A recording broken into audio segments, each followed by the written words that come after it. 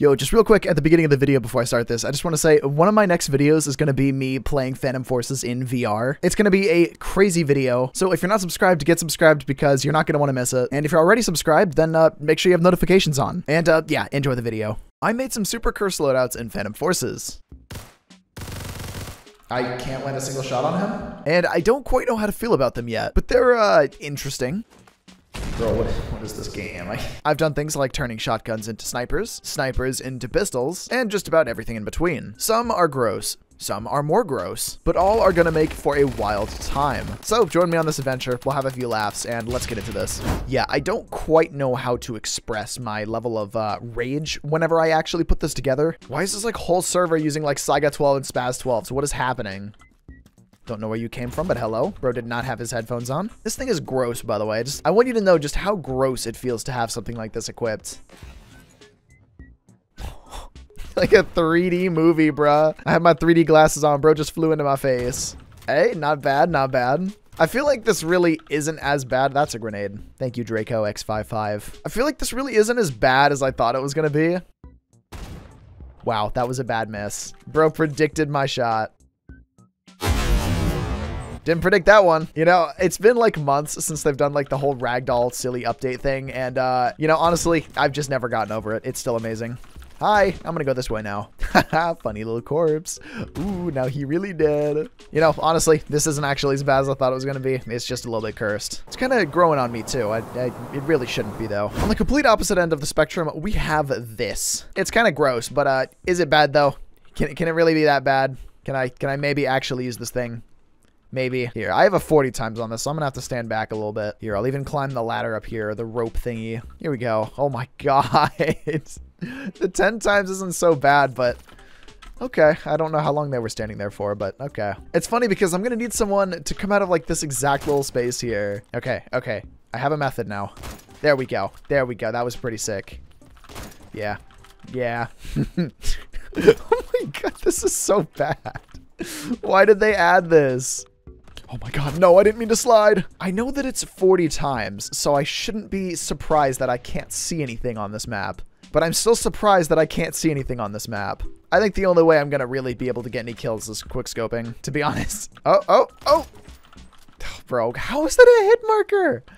I swear to God, dude, intervention with the CQB barrel is so inaccurate. It's not even funny. I have this clip from earlier where like I'm aiming at this dude's head. I didn't get the headshot, but then I shoot him again in the head and then I get the headshot. It just makes no sense. But really, does anything about this make sense? I, I didn't think so. One of my favorite guns for probably all of the wrong reasons is this monstrosity. I built it into quite the little ankle biter. And much like a Chihuahua, it hurts really bad and uh, it's too fast to be stopped. Now you might be asking yourself why and how and who and what and where. Stay in school so you learn what those are. But I don't I don't know either. I just there's, there's no reason for this. There is no reason for this thing to exist. It doesn't need to. Nobody asked for it. I didn't even ask for it. And yet, here we are. I, I don't know either. I don't know either. Just don't ask. Oh no, I pressed free cam.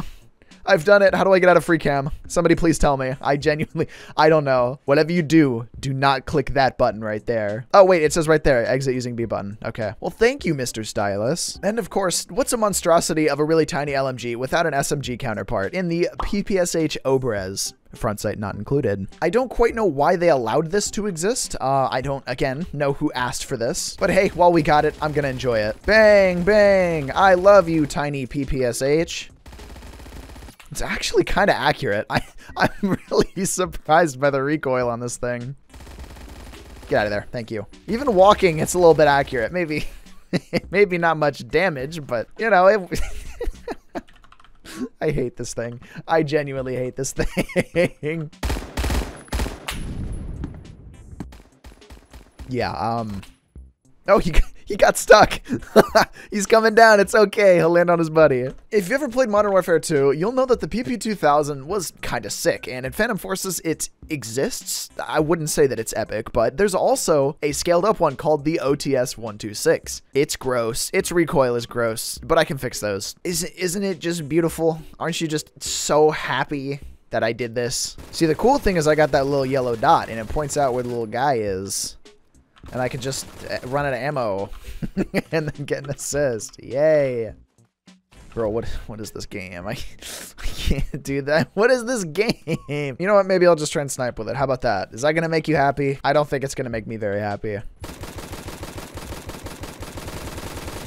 Okay. Recoil is very low. A lot lower than I expected it to be. Oh no, they're spawning inside of each other. I'm too fast. You know, typically I think that slow fire rates are pretty cool, but this is just kind of in that weird realm of just average, and I just don't like it. I either like like super fast firing weapons or super slow firing weapons. I don't like them basic guns. It actually has like surprisingly decent full auto range potential. I just punched my desk by accident. Nice. The G3 in Phantom Forces has quite the bark and quite the bite. It sounds powerful, is powerful, and yeah, we're putting a little tiny magazine into it instead. I also have a scope on it for no particular reason. I just think that a scope would be kind of funny. But yeah, there's a little tiny magazine, which you can just barely see inside of this thing. How high do I have to aim? Dude, I have to aim all the way up here to shoot into that window. Oh, this is awesome. This is just great. Nope, nope, nope. I'm going in that window. Oh my god. I don't know how either of us were that bad. Yeah, um, recoil's not great. Maybe the scope isn't really going to be helping us here. Maybe, maybe, maybe not. Okay, well, clearly this is meant to be used up close with that crazy high close-up damage, so let's let's just put on a normal little sight. And if I can ever figure out where they're spawning, I'm gonna go right behind them. Apparently they're spawning behind me. Fantastic. Thank you. Thank you. They're uh, below me now. I'm very scared. I'm very scared. I'm frightened. They're coming in. You know, whenever you take the scope off this, it's kind of cool.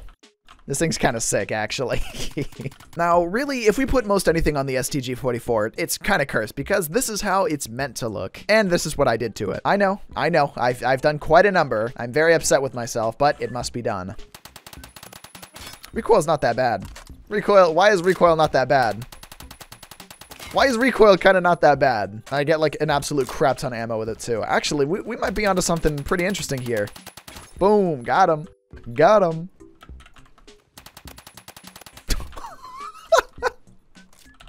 the meteor streaking across the sky. Make a wish, everybody. And of course, it wouldn't be a curse setup video without something I really never use or talk about, uh, the micro Uzi with a scope and a shotgun conversion. Now, normally the micro Uzi is just okay, I guess. It's like it exists in a place and time. But right now, we have, uh, I think, what is it, like three pellets per shot? Yeah, so we got a little shotgun action going. We got a little bit of, we got a little bit of scope action going on here too.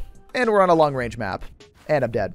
Great. I put one of those little like cinnamon brooms in my room and I took the bag off of it and it's, it's hanging from my fan. And it, uh, it's starting to get to me. Happy Halloween, everybody. Ooh, one shot. Did a total of zero damage. That's awesome. Maybe we should switch to a smaller map. Oh, should we? I, I think I'm just to do it. I can't land a single shot on him. There we go. Oh my god, those were all over his head. Bro is peppered. I hear, I hear feet, I hear feet. Oh, it's my teammate. Oh, hi. I don't know where you came from. You know, whenever you don't scope in, this thing's actually kind of interesting. But whenever you do, well, yes, phone. I know. I know. You want to be very loud. Dude, you can't even see out of the scope. Where Bacon at? I don't know. I'd like to know too. It's, it's just not possible. It's literally, bro just stood there executing me while I was shooting him with a Nerf gun.